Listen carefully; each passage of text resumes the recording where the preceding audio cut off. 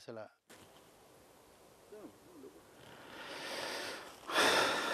Bak maşallah. Rengiyle, aromasıyla, e, damak tadıyla ve yağ oranıyla gerçekten bizim ilçemizde her türlü ürünümüz mevcuttur. Ama e, değerini koruyamıyoruz. Taban fiyatı oluşturamıyoruz.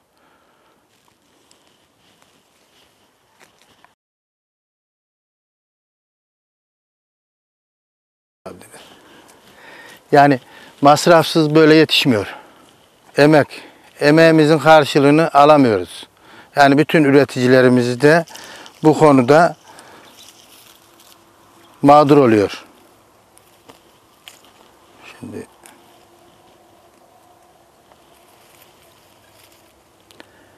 giderlerini dile getiriyor.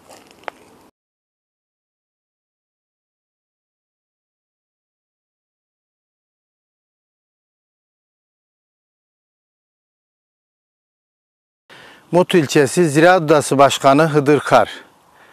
Ee, öncelikle e, maden kazasında şehitlerimize Allah'tan rahmet, yararlarımıza acil şifa diliyoruz. Ee, zeytin sezonumuz başlamıştır. Bütün üreticilerimize hayırlı ve bereketli bol kazançlar diliyorum. Maalesef girdiler çok yüksek. Zeytin fiyatlarında yine umduğumuzu bulamadık. Mazot, gübre aldı başını gidiyor. Sulaması var, e, budaması var, gübresi var, var oğlu var. Bir yıl boyunca buna çocuk gibi bakıyoruz. Maalesef fiyatlar 4 lirayla 6 lira. Zaten bunun kiloda 7-8 lira maliyeti var. Zeytin gördüğümüz gibi şu an yağdanlık gibi dura vardı.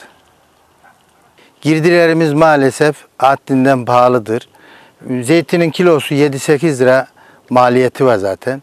Ee, biz en az yağlı 10 liranın üstünde, sofralı da 15-20 lira arasında beklerken 6 lirayla 10 lira arasında 6 lira, 4 lira, 6 lira yağlık, sofralık 10 lira, 11 lira, 9 lira.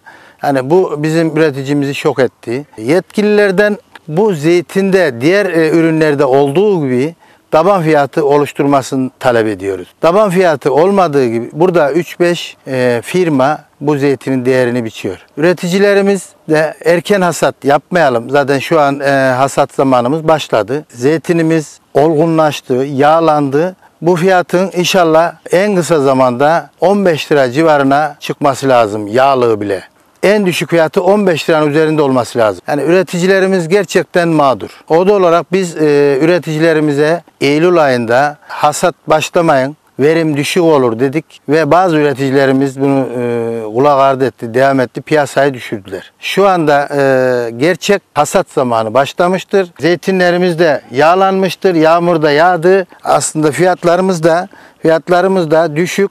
Şöyle e, gördüğünüz gibi zeytin yüzde 50 yüzde 60 yağlanmaya devam ediyor. Bir an önce fiyatların oturmasını e, talep ediyoruz. Üreticilerimiz gerçekten mağdur.